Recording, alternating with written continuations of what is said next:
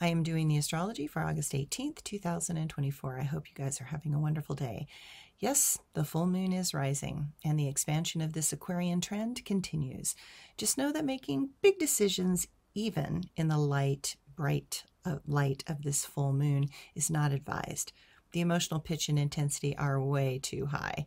With Mercury still in retrograde in Leo and squaring to Uranus in the last degrees of Taurus, let's just say that focus and communication is a challenge.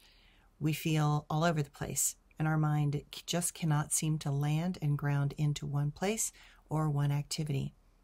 And with the Leo sun in the mix, we are seeing dysfunction in a shockingly clear light. We are being asked to embrace the choices and actions of our past to be able to pave a new future. We are absorbed in trying to integrate what has been happening and find a new place to stand.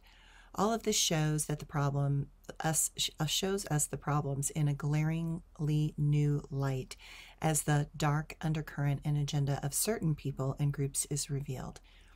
The tide has definitely turned, and we are finally seeing things with a new understanding, and it can be quite shocking to those that refuse to move with the earlier revelations.